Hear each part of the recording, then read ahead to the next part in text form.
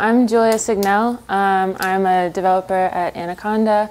Um, I work on the PyViz uh, ecosystem, which is this umbrella of tools uh, that encompasses Bokeh and also some higher level libraries um, that wrap uh, Bokeh and also can render other with other backends like Matplotlib.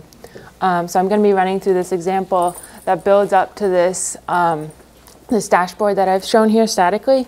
Um, so it We'll just be stepping through that um, in notebooks. Uh, so if you want to follow along, I've created a binder link. Uh, I don't know how well that'll work. Uh, it's a pretty big environment. Um, but you can find it at my GitHub at PyData um, 2018. All right, so I'm just going to jump right in. Uh, okay. So uh, just to just to get situated a little bit, I know you guys have been in visualization talks all morning, but um, uh, what do we want out of visualization? So we want to be able to explore our data and see patterns. We want to identify bad data maybe, um, develop intuition about how our models work or how our um, systems work. And we want to be able to maybe present our data to other people, share it, tell a story. Um, and then, so what tools, what do our tools need to be to uh, to facilitate those aims. So we want interactivity, we want to be able to zoom in and out, um, re-render on user input, um, maybe draw on plots, annotate.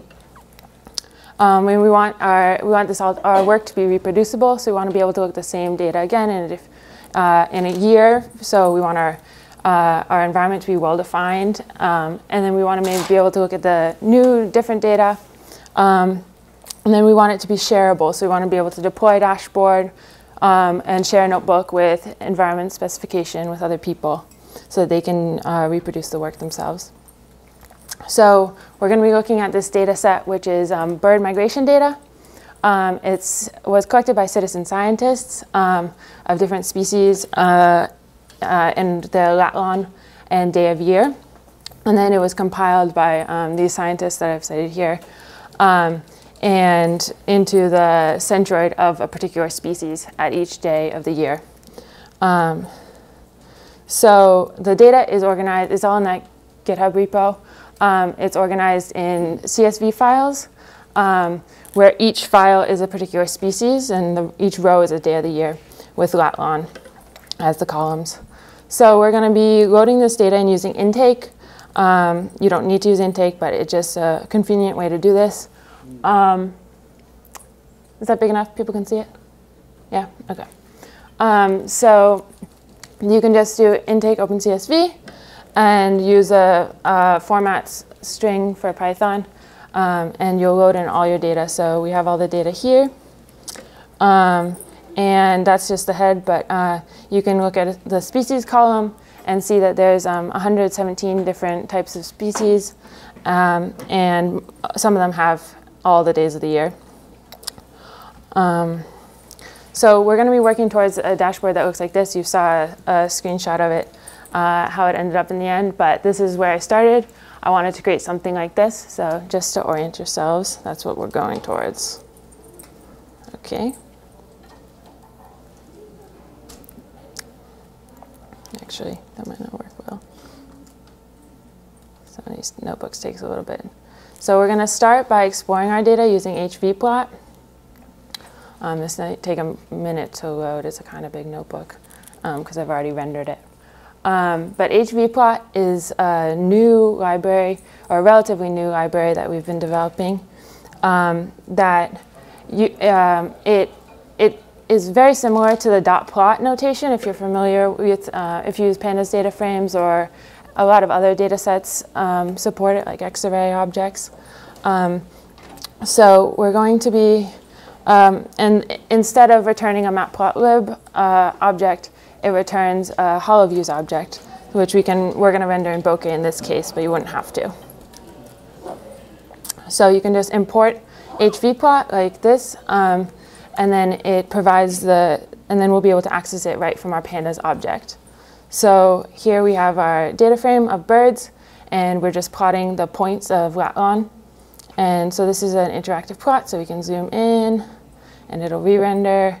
um, and we can hover, and it has all the interactivity that you expect in bokeh. Um, you'll notice that it's kind of hard to see all those dots. They're situated on top of each other.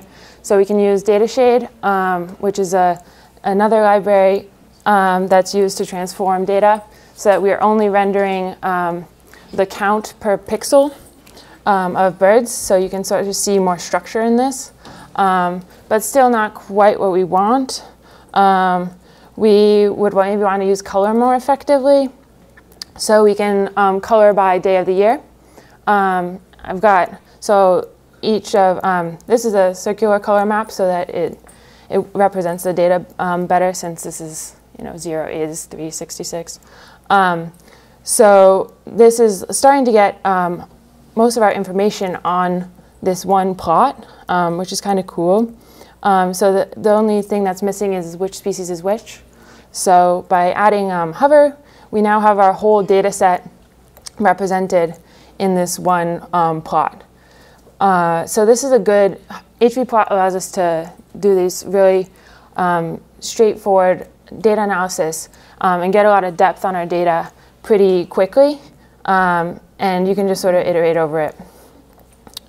Um, so to more effectively look at our whole data set, we might want, might want to split out um, different species and look at them individually.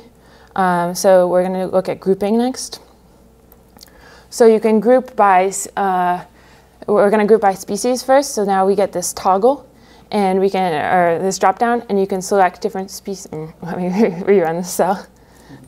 Um, and you can select different species, and you'll see that it appears in the plot. Um, and you still get all the interactivity um, and the hover, but now we can just look at a particular species and see the, um, the migration pattern. Um, so what this looks like in is hollow, it's actually a HoloViews object, this um, P here that I've defined, uh, I've set to the um, output of the HV plot. And it's a dynamic mapping of species to points. So this might look a little weird, but um, if you are interested, uh, we'll get into that more later. Um, even if you're not interested, we'll get into it more later. Um, uh, so we can inspect just one bird the same way that we use a dictionary. Um, so if you're just interested in the Connecticut warbler, we can use that same P that we defined above and use it, since it's a mapping, we can um, just get one um, particular bird from it. Um, so you'll notice in this data that there's a gap, ooh, let me make this bigger, um, that there's a gap between um, day 77 and day 104. so we can do a linear, and that's just a missing data. But we know where the bird was, right? Like the bird was somewhere in here. So we can just do a linear interpolation. Um, and so we'll just do that little cleaning. Um, and then we can look at the Connecticut warbler again, and it's cleaned up. Um, so that's just for our future analysis to make things better.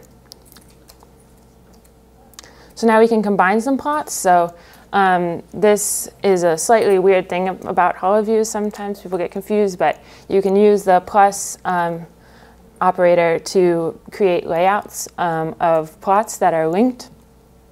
And um, you can use the times operator, which you'll see later, to, uh, to create overlays. So um, these plots, uh, this is a particular species, so as you toggle the species, both those plots are going to change. Um, and then you can also do things like zooming, um, and they'll both change as well. So that's, um, that's the end of the HV plot section.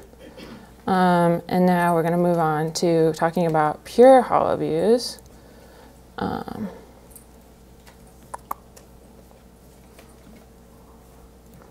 it's going to take, a okay. Um,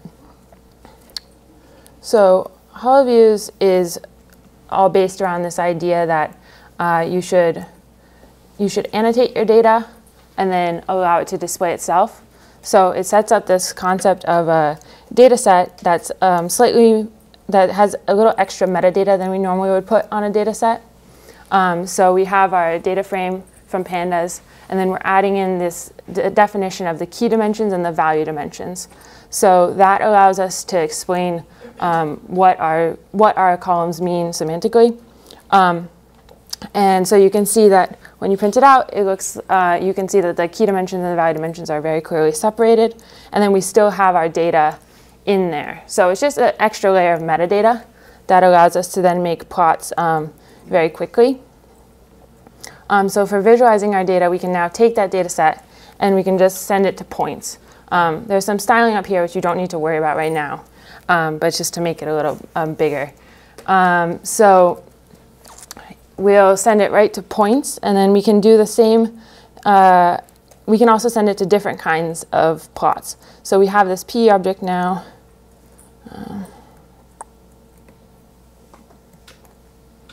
And um, we can look at the density instead by taking the um, bird data set that we defined and we can make um, hex tiles so we can see some more structure of counts. And um, so you can make different types of plots this way. You can also do a lot of styling. So um, we're going to set a custom color map to get the maximum visual difference between the species. Um, and so I'm using Glasbey colors, but it's not very important. Um, it's just colors that are maximally visually different.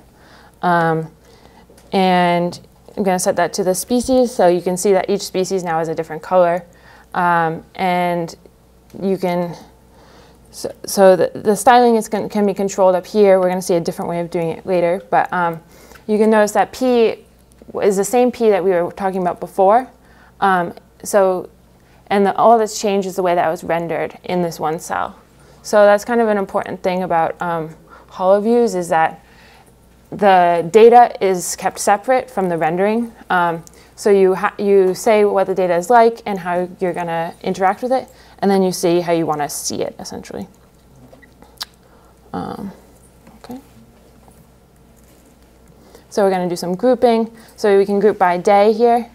Um, and this probably shouldn't have rerun that because it might take a minute. Um, so this is um, getting a, the the rendering options are getting a little more um, intense, but basically I've added some different bokeh tools, and um, you can see now that if you drag this, you can see all the different days for all the different birds.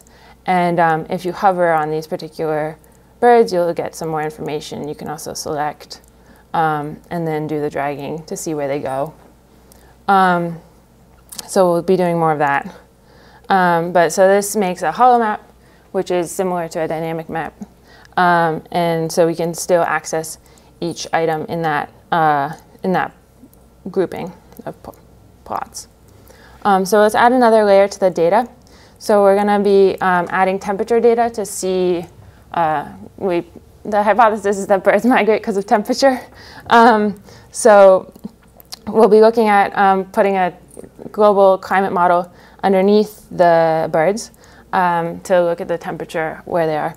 So we're going to be using Xarray. Um, you can just download it directly, or you can just call this data URL directly. Um, I was hitting limits, so I downloaded it locally. Um, so this is just an import using Xarray. Um, uh, this, the time is in a strange format um, because it's the long-term mean um, air temperature, so it doesn't have a year associated with it. It's kind of a weird thing. So I just um, set it to day, integer day. Um, and then we can look, use hvplot to look at it. So this is, um, this is what we get if we just use, uh, use the data set and um, plot x versus y using hvplot. So we can toggle these things. So this is the pressure level, and this is the day. Um, and so you can sort of see that you get more, I didn't originally fully understand what the pressure level was. Um, so, but you can see that you have more definition of continents at higher level. So uh, surface pressure, as I found out. Um, so um, we're going to use a thousand um, millibars for, for ours. So we can just uh, for the rest of our analysis. So we can just uh, select that, that one level. Um, this is just using Xarray um, select notation. Um, and so now we have our, um, our temperature layer that we can add to our birds. Um, so just a note that this is a dynamic map. Uh, there's a slight difference between a holo map and a dynamic map. Holo maps are uh, pre-computed, um, so you make all your plots ahead of time, um, and that's what HoloViews does by default. HVplot by default does a dynamic map, so you don't have to pre-compute everything, so it just computes on the fly. Um, so this will only work in a running notebook. Um, it won't work in a static website unless you pre-compute. Um, so we can see that uh, the keys on this, um, if we, so the keys are only going to be the ones just to further indicate um, that it's a dynamic map, we're only going to have the keys that we've uh, slid to, essentially. So if we do this again, we only have day one, but if we slide it around a little, then we get more keys. So we just have the ones, we've only computed the ones that we've needed, essentially. Um, since they're on the same, since the bird plot and the air plot are on the same, are both HoloViews objects, even though one was created using HVplot, one was created using HoloViews, we can put them on the same um, plot and do an overlay. Um, so this is the times notation to do an overlay. But this doesn't uh, quite work because um, they're on different, these two data sets are, have different longitude conventions. So um, the birds are using negative for the Western Hemisphere, and the global climate model is just counting up from zero to 360. So um, this is a good time to jump into uh, GeoViews um, out of HoloViews. Um, so GeoViews is just a wrapper around, um, it's, it's just a, a, a superset of HoloViews, um, but it adds extra metadata that is good for geo contexts. Um, so we can import it uh, same way we were doing uh, with HoloViews and um, add some extra metadata. So one of the important things that we're going to add is the coordinate reference system, which just says um, how the data are, what the data, uh, what the what the x, y coordinates are. Um, so this is using Cartopy, so plate carré just means um, lat. Um, so this is our data set now as a GeoViews object, which looks very similar to the HoloViews. Um, and now we can um, just automatically uh, plot the data. Um, so we're going to use do, show the points data. Um, so, so, it's uh, all the same, but now we can overlay um, geo features on top of our data. and in this case, we've just overlaid the coastline of North America and South America. Um, and but you'll see that it doesn't it doesn't set um, well let's just keep going. I'm not sure what the next one is. Okay so you can look the points are the same as they were in the HoloViews um, we can do grouping the same way we did in HoloViews um, I just set dynamic to true to make it faster. Um, so we can do some grouping and uh, you'll see that only the birds we render. Um, so this is starting to look good, um, but it's out of bounds because um, since it hasn't pre-computed all the plots, it doesn't know what the bounds should be. So we can set those explicitly and use tiles underneath.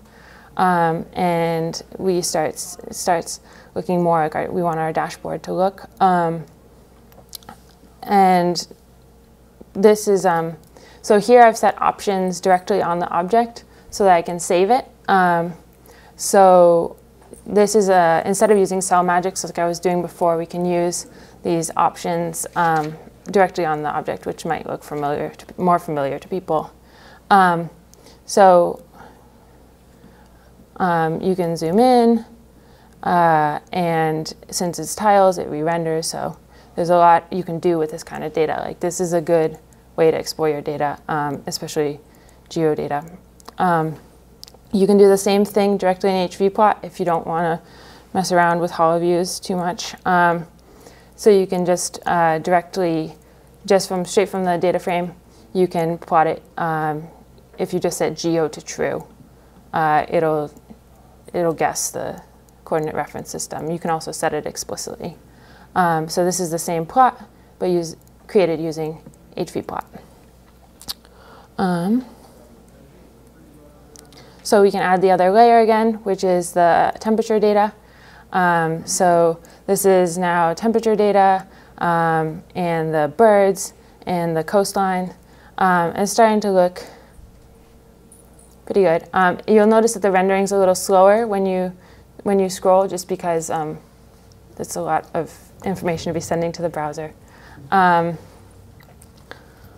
Um, so the last thing we're going to do, and I'll just stay right in the notebook for this rather than doing the slides.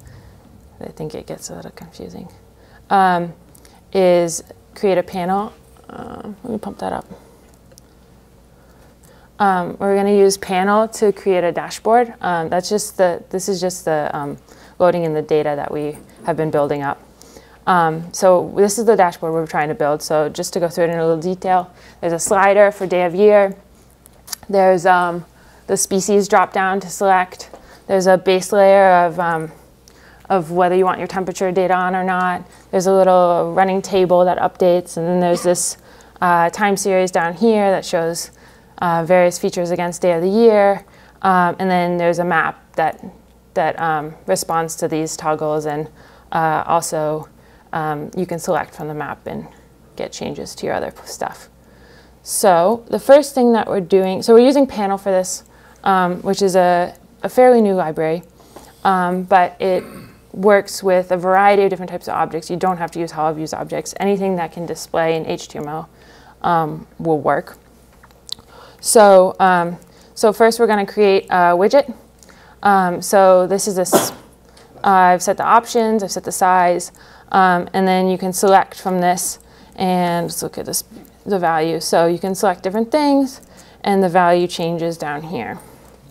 So this is, looks like every other widget um, that you've seen. Um, and then we're going to create a, a, a, player widget, which is for day of year.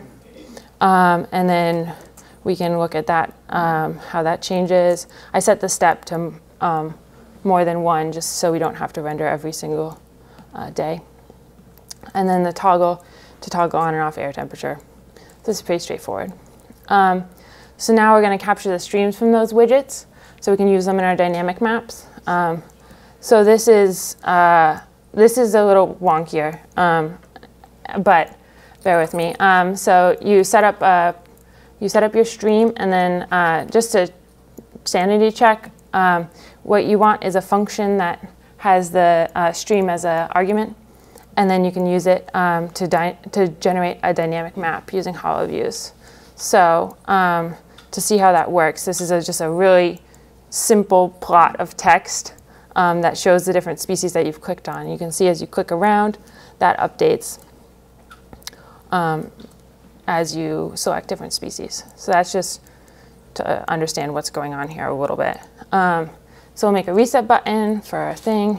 Uh, and you, if you click the reset button, everything unsets. So that's just some little component parts that we've, that we've set up.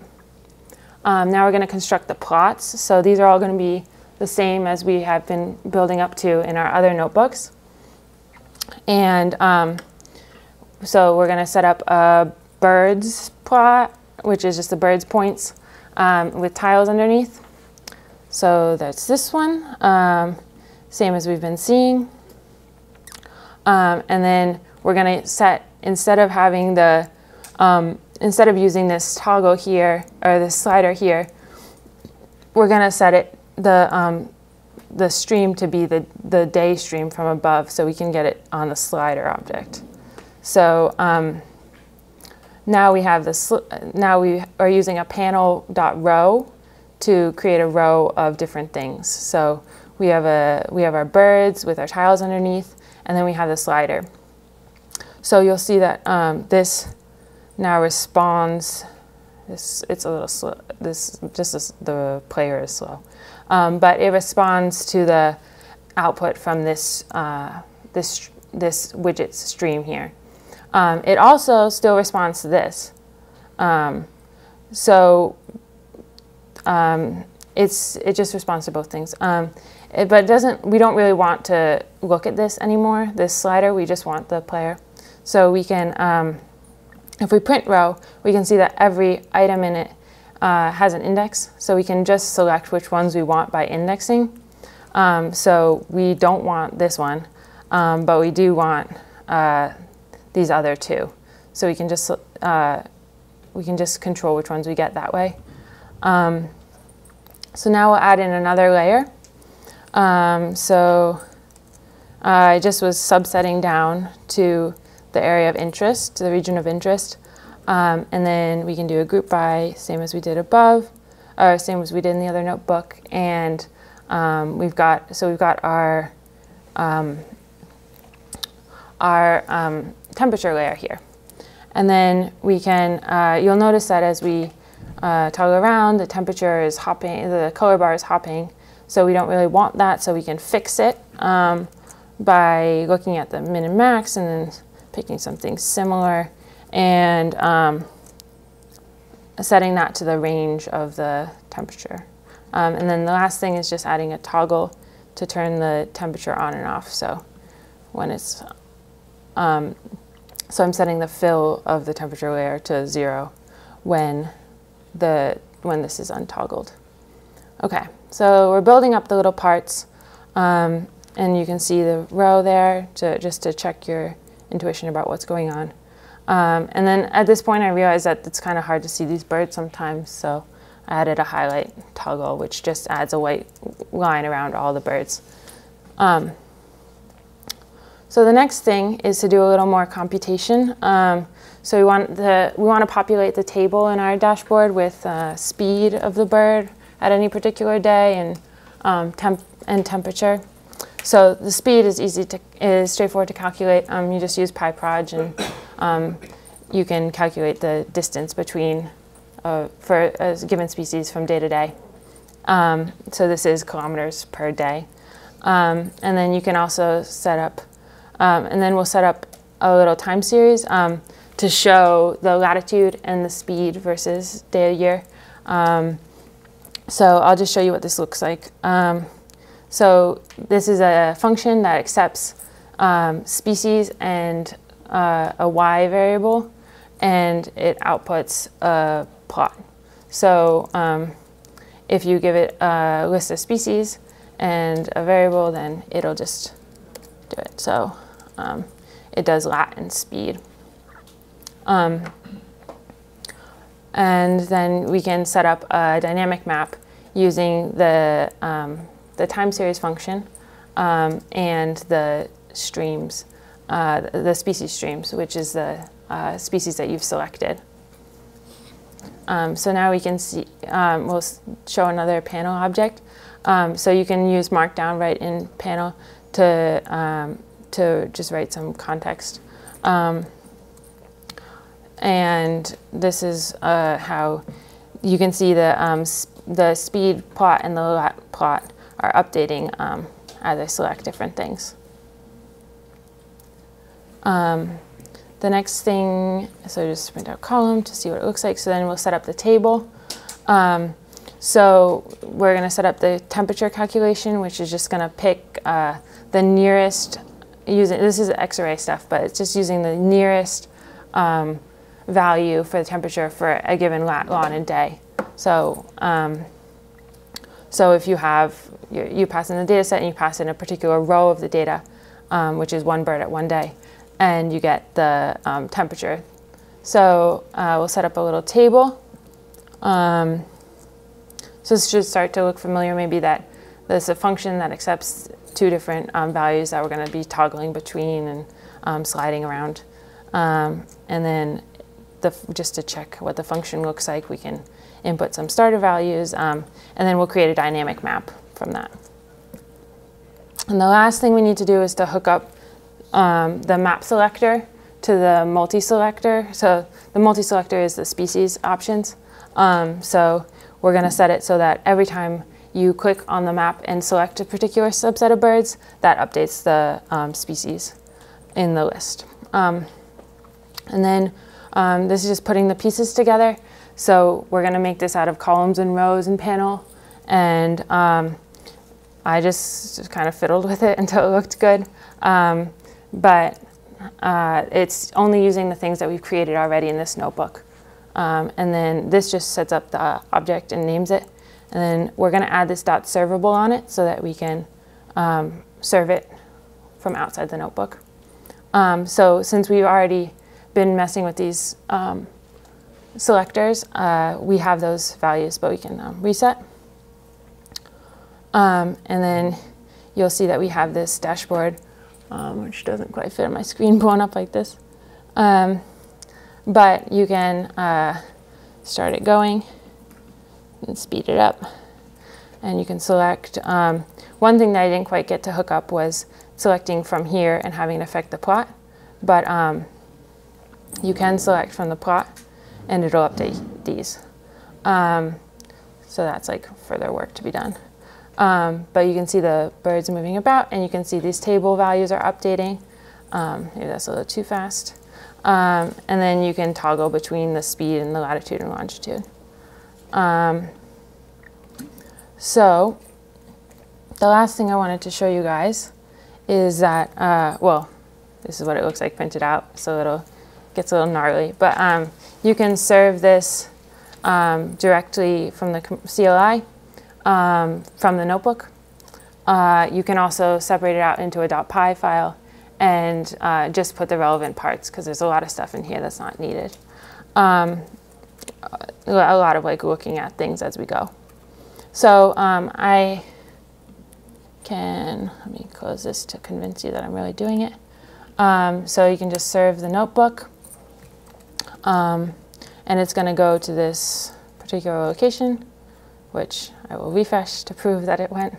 Um, and um, I also have uh, these notebooks deployed um, on Anaconda Enterprise uh, at those bit.ly links, um, which I can give you again at the end if you want to like just play with it. Um, so those are uh, externally available links. So this is our dashboard. Maybe we'll shrink it down so it fits. Um, and so you can see uh, that's this is from our notebook. Um, we're just serving that directly. So it might not be the best way to store your code long term, but if you just want to, if you have the notebook made and you just want to show it to people, um, it has all the same functionality, and it's um, this is this is not static. This is like being, you know, this is a dynamic thing. Um, but uh, yeah, and you can also um, just create the. This is what they looked like when I slimmed them down a little. Um, so this is the app.py, um, just with the functions and the plots uh, and the widgets and stuff um, and just creating the dashboard. So um, I also, that one's, a, this one's a little laggy, so I also made one without any temperature that's a little more um, pleasing, I think. That just makes the birds go a little, doesn't have as much lag. Um, so that's what I wanted to show you guys. Um, if you are interested in learning more about this, you should go to pyviz.org there's a lot of tutorials and stuff, um, and it'll step you through in more detail. But hopefully you got a taste.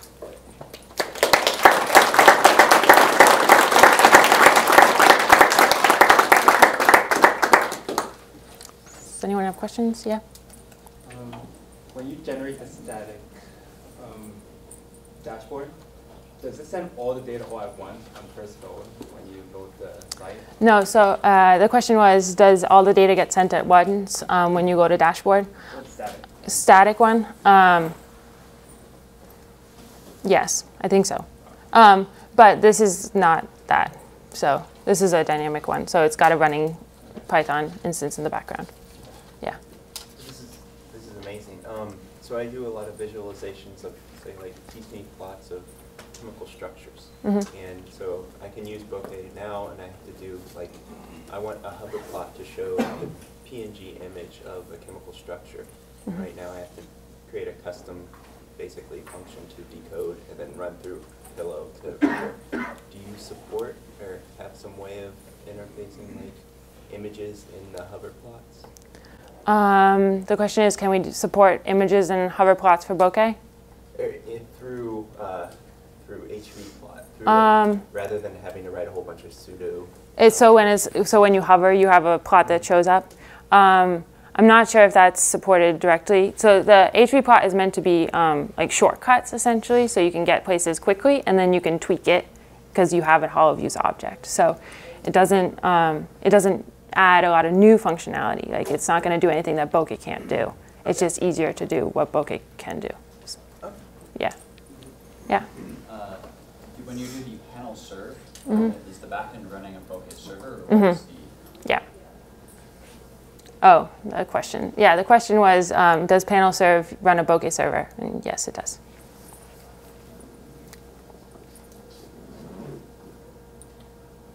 All right. Yeah. When you were doing the grouping in the hvplot, uh, every time you switch grouping, it switched the XY scale. I assume you can fix the XY scale when you're doing that? Uh, yes, you can fix X, Y scale.